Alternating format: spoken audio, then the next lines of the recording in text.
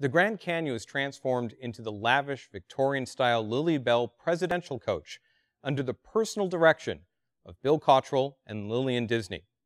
Mrs. Disney took particular interest in decorating the coach that was named in her honor. It contained several items that belonged to her and Walt.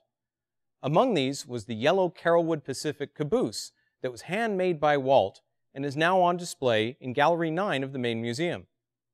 The Lilly Belle debuted in 1976, just in time for the bicentennial. Among the first guests aboard the Lilly Belle were Japanese Emperor Hirohito and his wife, the Empress. Since that time, countless VIPs and honored guests have enjoyed a grand circle tour of Disneyland from this plush and opulent coach.